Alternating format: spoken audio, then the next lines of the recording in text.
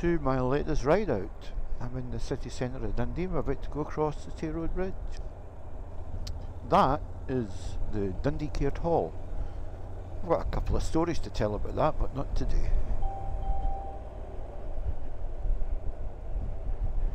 That's for another ride.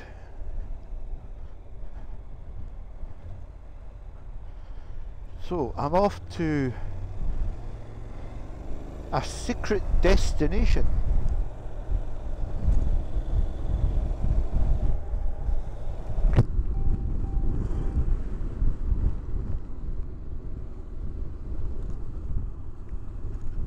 Few rigs in today. I'm off to a secret destination in Fife. It's called Scotland's Secret Bunker uh, an old nuclear bunker, bunker from the Cold War that was sold off. And is now a tourist attraction. It's not far from Anstruther. So let's go and have a look. Let's journey down and see what you think. Let's orientate the ride. The secret bunker is in the eastern part of Fife, which is just west of Crail and slightly north of Anstruther. I headed off from a base in Dundee, drove through some of the back roads, um, avoiding all the main towns, and ending up at the secret bunker. The reason for the location today was quite simple. If you draw a big C around Dundee and Fife that extended from around about Angus across to Perth, down through this part of Fife, and across to Edinburgh. There was supposed to be rain all the way around, but as it turned out, as always, um, that wasn't as accurate as you would think. So, did get caught in a little bit of rain, but never mind. Uh, the day was quite windy, still quite blowy. We've had quite a lot of uh, wind and storms, uh, so apologies for any wind noise. All right, let's go and see what the ride's like. It is very windy today. We've been battered by storms, lots of wind, a bit of rain in the last few days. Friday was particularly bad, this is Monday.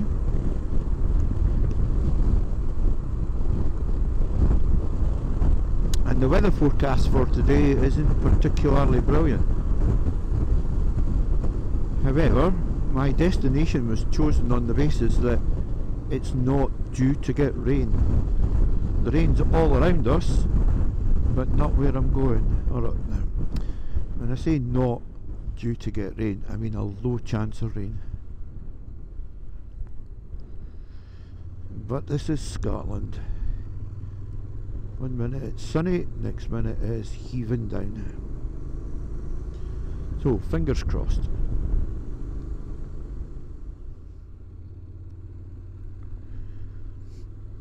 I must say the roads are quiet today.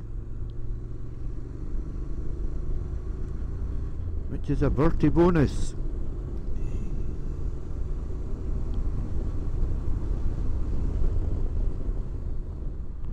Now this is well known for speed cameras in this area. Seen them a couple of times just sitting over there with it beside the national speed limit. Just over there so if you're ever coming through St Michael's. Just be careful.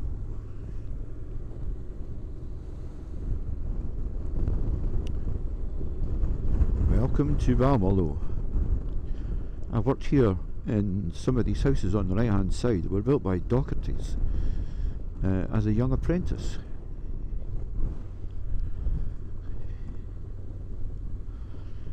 Part of your learning learning curve to to learn your trade. Thankfully, I got away from house bashing pretty quickly. House bashing was something we called uh, just doing a whole bu bunch of um, houses to get to wire them up and get them live. There we go. So I've been watching some videos. Um, one of the videos that really intrigued me which was very entertaining, heart in the mouth. it was won by Richie Vida. Um, you probably all know who that is. He he went to the Outer Hebrides, and he um, he went in January when there was a lot of snow, and uh, well, the guy's got guts, that's for sure. Couldn't believe he left the A9 to head down Ballater and Balmoral and all of these roads before he ended up in Aberdeen. Wow, scary stuff. Anyway, well worth a watch. So the thing that brought back memories for me, I've been out, I've been out Stornoway and Harris and all that stuff uh, with work actually, two different companies. Anyway, the the most recent was with uh, when I worked for a ferry company.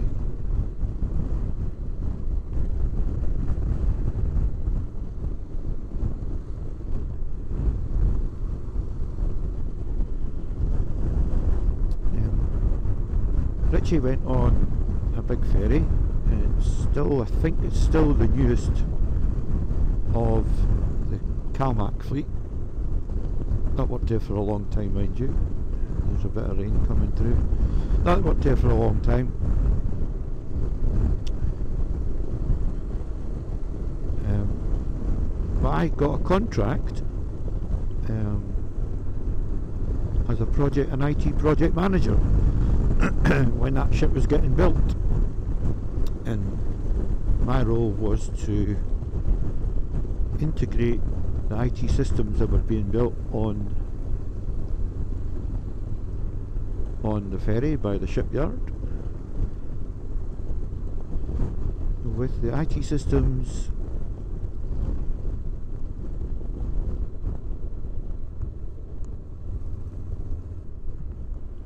with the IT systems that were being installed by the shipyard.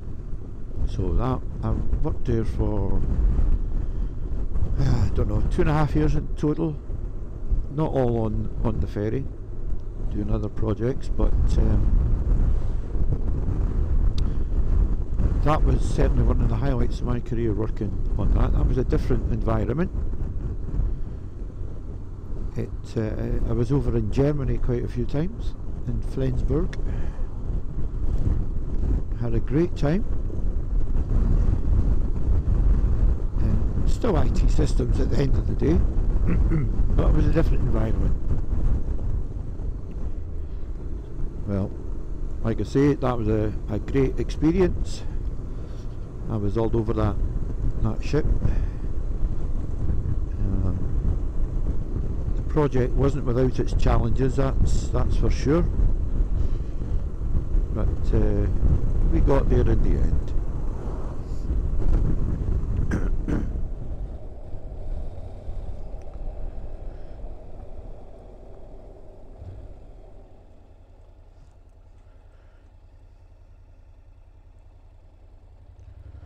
Right, this is a new road. Never been on this one before.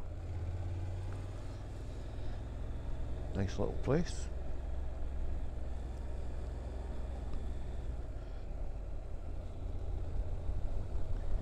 Pity about the rain.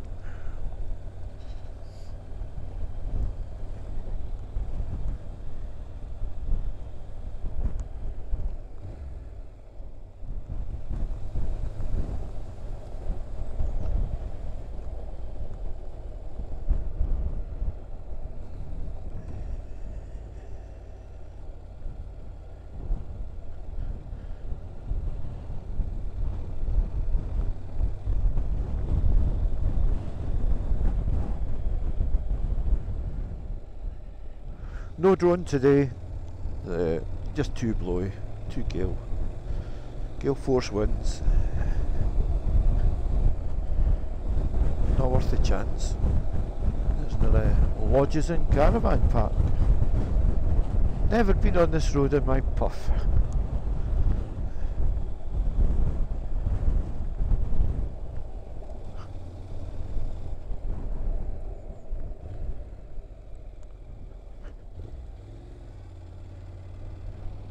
Right, I need to concentrate. I keep looking at the scenery. Oh, a donkey. There we go.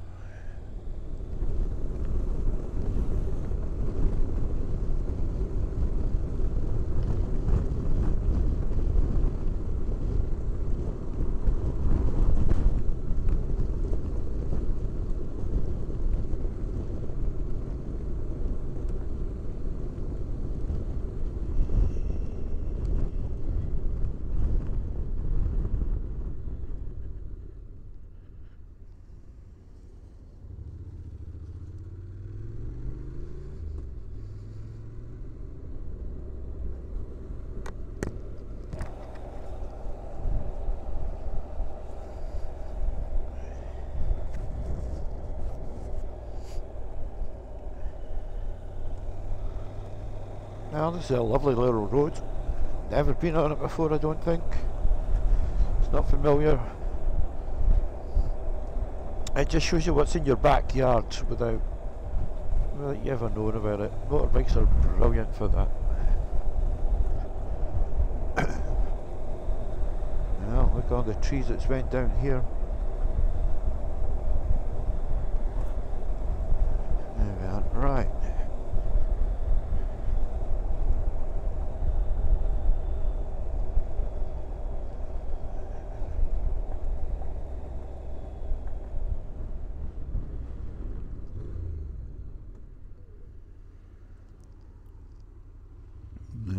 Go. You can see the old airfield bunkers, and you can see the sign for secret bunker.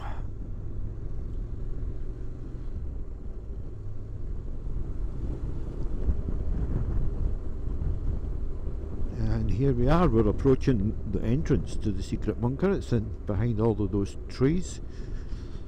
We're just down here. We'll go in and we'll have a look.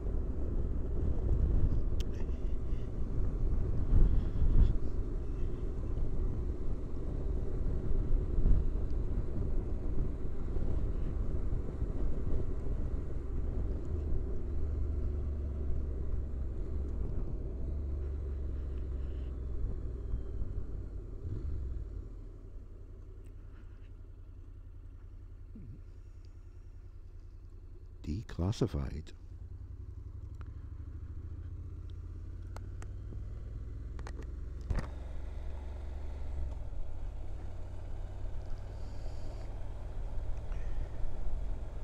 And there it is there. So that little farm building is the entrance to a nuclear bunker.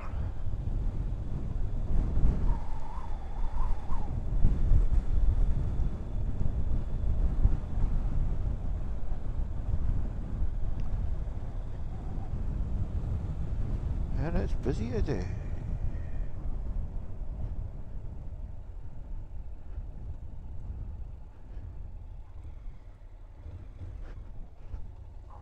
There's the entrance. Now.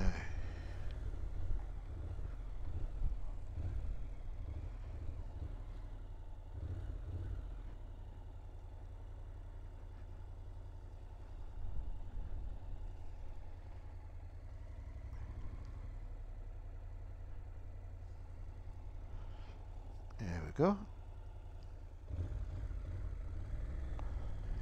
Electric chargers, brilliant.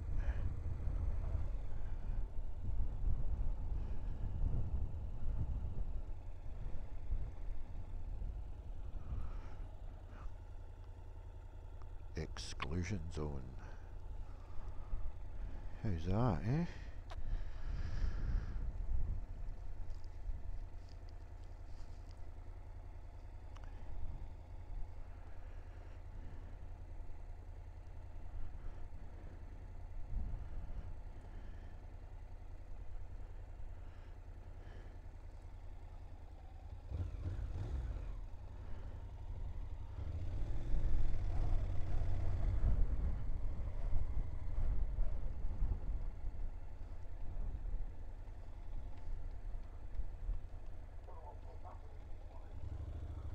Beautiful.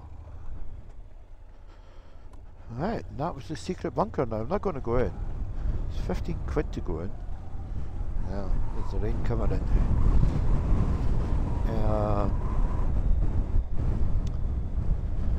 and to be honest, I've been it many, many times.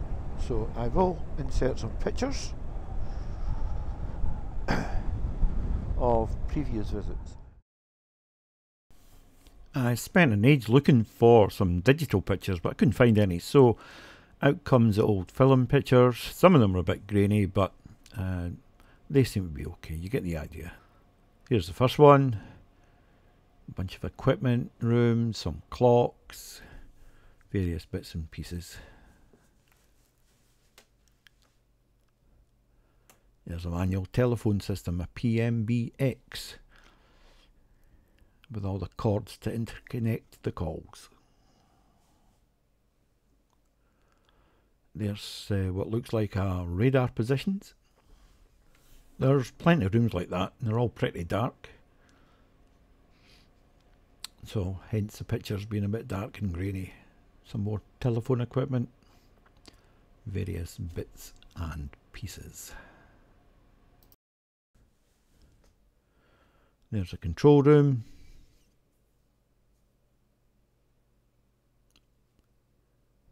Place is pretty dark overall. And there's another one of the control room. Uh, the place is well worth a visit if you're up this part of the world. Very, very enjoyable.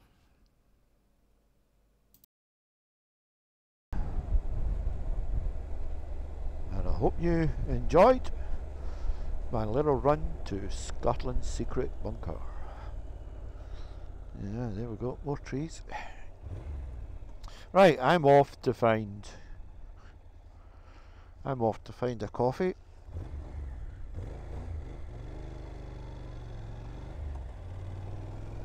Thanks for joining me. Bye bye.